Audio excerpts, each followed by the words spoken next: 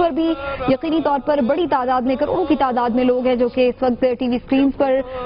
دیکھ رہے ہیں یہ مناظر اور امجد صابری کا آخری دیدار آپ ٹی وی سکرین کے ذریعے بھی کر سکتے ہیں۔ امجد صابری، معروف قوال جنہوں نے حمد و ثنا کی، اللہ کی، اس کے رسول کی، اس کے اہل بیت کی اور اس کے بعد ہم نے دیکھا کہ انہوں نے نہ صرف پاکستان کے مختلف شہروں میں بلکہ بیرون ملک بھی جا کر پاکستان کا نام روشن کیا اور صوفیانہ کلام جگہ جگہ پہنچایا۔ امن و محبت کی آواز کو ہم نے دیکھا کہ وہ بڑھتی چلی گئی، پھیلتی چلی گئی اور لوگوں کے دل منور کرتی چلی گئی۔ اب یہ آواز اگرچہ خاموش کرانے کی کوشش کی گئی ہے، لیکن یہ آواز گونجتی رہے گی۔ اس کا درد اس کی تاثیر ہمیشہ محسوس کی جاتی رہے گی۔ امجد صابری کا، جسد خاکی اس وقت لہد میں اتارنے کے لیے، تدفین کا عمل کرنے کے لیے آپ دیکھ سکتے ہیں کہ مختلف مراحل چل رہے ہیں، جاری ہیں اور ان کا جسد خاکی ایمبولینس سے نکال لیا گیا ہے اور اس کے جو آخری دیدار تھا، اس کے جو آخری مناظر تھے، وہ بھی آپ دیکھ سکتے ہیں۔ بالکل، اور یہ سفر آخرت ہے، جس طرح سے اسکرین پر ہم بات کر رہے ہیں، لکھا ہوا ہے مختلف ہم جو گرافکس کے ذریعے سے لوگوں سے بات کر رہے ہیں۔ سفر آخرت کی اگر بات کی جائے تو حقوق اللہ، حقوق العباد کی بات ہوتی ہے۔ حقوق اللہ اللہ رب العزت اور اس کے بندے کا معاملہ ہے، لیکن حقوق العباد جو ہے وہ بندے سے بندے کا تعلق ہے۔ اور اگر ہم امجد فرید صابری کے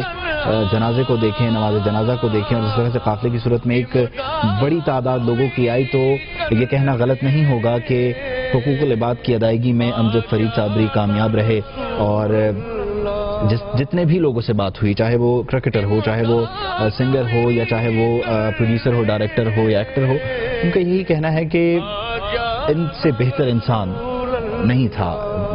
کوئی مسائل نہیں تھے کوئی مشکلات نہیں کریٹ کی کبھی انہوں نے دوسروں کے لیے اور ہمیشہ دوسروں کا خیال رکھتے ہوئے کام کیا مسائل کریٹ کرنا تو دور کی بات ہے وہ ہمیشہ کوشش یہ کرتے رہے کہ مسائل مسائل ہیں وہ بھی دور کی حل کر دیے جائیں وہ مسائل اور اگر ان کی کوئی مشکلات ہیں تو وہ دور کی جا سکیں جتنے ان کے اختیار میں اور اس کے ساتھ ساتھ یہ بھی کہ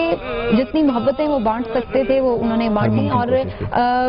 دلچسپ اور خوبصورت بات بڑے لوگوں کی یہ ہوتی ہے، عظیم لوگوں کی یہ ہوتی ہے کہ جب وہ کسی کی مدد کرتے ہیں تو اس کا پرچار نہیں کرتے، خاموشی سے کتنے ہی خاندان ان کے سائے تلے پل رہے ہوتے ہیں، کسی کو کانو کان خبر نہیں ہوتی۔ اور جب وہ اس دنیا سے رخصت کر جاتے ہیں، جب وہ اس دنیا سے پردہ کر لیتے ہیں، تو پھر اس کے بعد